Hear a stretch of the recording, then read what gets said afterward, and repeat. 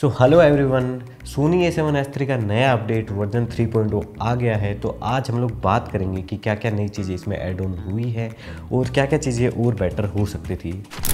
तो जो पहला फीचर इसमें ऐड ऑन हुआ है, वो है डी सी आई फोर के तो डी सी आई फोर के और नॉर्मल फोर के में डिफरेंस ये होता है कि डी सी आई फोर के में आपको 17 बाई नाइन रेशियो में शूट करने को मिल जाता है। जनरली जो 16 बाई नाइन रेशियो होता है तो आपको विड्थ में एक्स्ट्रा पिक्सल कुछ मिल जाते हैं।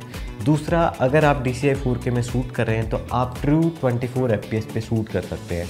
जनरली जो 24 फोर एफ़ इसमें आता है, उसमें 23.096 और समथिंग अपन फ्रेम पे शूट करते हैं, ना कि 24 फोर एफ़ पी। तो अब आप चाहे तो ट्रू 24 फोर एफ़ पे शूट कर सकते हैं बट उसके लिए आपको डी सी आई फोर के पे ही शूट करना पड़ेगा। तो जो सेकेंड फीचर एड ऑन हुआ है, वो है फोकस ब्रीदिंग कंपनसेशन तो जनरली जब आप कोई प्राइम लेंस यूज़ करते हैं तो कॉर्नर पे हल्का आपको जूम इन आउट इफ़ेक्ट देखने को मिलता है, जो कि फोकस ब्रीदिंग होती है। तो अब इस फीचर के थ्रू आप उसको हटा सकते हैं। अगर आप ये फीचर ऑन करेंगे तो ब्रीदिंग नहीं होगी। बस इश्यू ये है कि ये फीचर तभी काम करेगा जब आप सोनी के नेटिव प्राइम लेंस यूज़ करेंगे। अगर आप थर्ड पार्टी लेंस यूज़ कर रहे हैं तो ये फीचर काम नहीं करेगा। So the third and my favourite feature is new menu system तो मैं दो कैमरा यूज़ करता हूँ। एक है Sony Z V E one और दूसरा है Sony A seven S three but issue ये होता था कि जब मैं इन दोनों कैमरा के बीच स्विच करता था तो थोड़ी दिक्कत होती थी क्योंकि दोनों का मेन्यू सिस्टम अलग अलग था। बट इस अपडेट में दोनों का मेन्यू सिस्टम सेम हो गया है। जो मेन्यू सिस्टम नए सोनी कैमरा या जेड वी इवन या एफ़ एक्स थ्री में है, वो सेम मेन्यू सिस्टम आपको Sony A seven S three में देखने को मिल जाएगा। साथ में आपको टच कंपैटिबिलिटी भी मिल जाती है, जिससे टच स्क्रीन से आप सारी चीज़ें चेंज कर सकते हैं, आईसो शटर स्पीड या कुछ भी। दूसरा, आपको स्वाइप लेफ़्ट राइट या स्वाइप बॉटम ये फीचर भी आपको इसमें देखने को मिल जाएँगे। And the fourth feature is कि आप अब अपने Sony A seven S three को सोनी की नई क्रिएटर ऐप के साथ कनेक्ट कर सकते हैं। तो इससे होगा क्या कि अभी क्रिएटर ऐप में कनेक्टिविटी भी आपको अच्छी मिल जाएगी। दूसरा, अगर आप चाहें तो उस ऐप के थ्रू अपने फ़ोन को मोनीटर की तरह इस्तेमाल कर सकते हैं अपने कैमरा को यूज़ करने के लिए। तो जो पांचवा फीचर है, वो ये है कि अब इसमें सटर वेन पावर ऑफ़ का ऑप्शन आ गया है।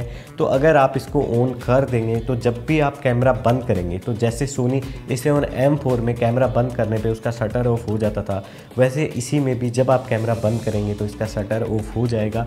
और जब आप लेंस चेंज करते हैं तो इसमें डस्ट आने के चांसेस कम हो जाते हैं। तो अभी मैंने अब कैमरा का ऑप्शन ऑन करके, और आप देख सकते हैं कि इसका शटर डाउन हो गया है। तो डायरेक्ट सेंसर नहीं दिखेगा, और डस्ट आने के चांसेस कम हो जाएँगे।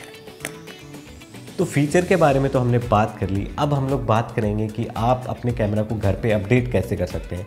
तो उसके लिए आपको सिंपल कुछ प्रोसेस फॉलो करने हैं। सबसे पहले आपको डिस्क्रिप्शन में जो लिंक दी है, उससे एप्लीकेशन को डाउनलोड कर लेना है। सेकंड आपको चेक करना है कि आपका कैमरा कौन से वर्जन पे है।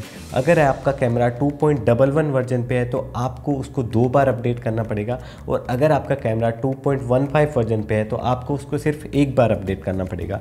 तो अपडेट करने के लिए जो पहली चीज़ का ध्यान रखना है, वो ये है कि आपकी बैटरी अप्रोक्स हंड्रेड चार्ज होनी चाहिए। दूसरा, आपके कैमरा में कोई भी मेमोरी कार्ड नहीं होना चाहिए। थर्ड चीज़, आपको इसके अंदर यूएसबी के थ्रू मास स्टोरेज एक्सेस करने का ऑप्शन ऑन कर देना है। देन आपको पीसी के अंदर अपनी एप्लीकेशन ओपन करनी है और अपना कैमरा कनेक्ट देना है किसी भी सी टाइप की केबल से। और जो प्रोसेस आपको कंप्यूटर में दिखता है, उसे बस आपको सिंपली फॉलो करना है। तो पहले आपको करना है टू पॉइंट डबल वन से two point one five update पे। देन सेम प्रोसेस फॉलो करके आपको अपडेट करना है टू पॉइंट वन फाइव से वर्जन थ्री पे। और आपको ये सारे फीचर देखने को मिल जाएँगे। तो परसों ही ये अपडेट रिलीज़ हुआ था और कल मैंने अपना कैमरा अपडेट कर दिया था तो सोचा आप लोगों को भी बता दूँ।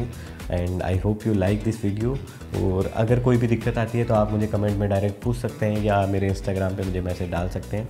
और काफ़ी टाइम बाद मैं ऐसा कोई वीडियो स्टूडियो में बना रहा हूँ तो thanks for watching take care tata bye मिलते हैं नई वीडियो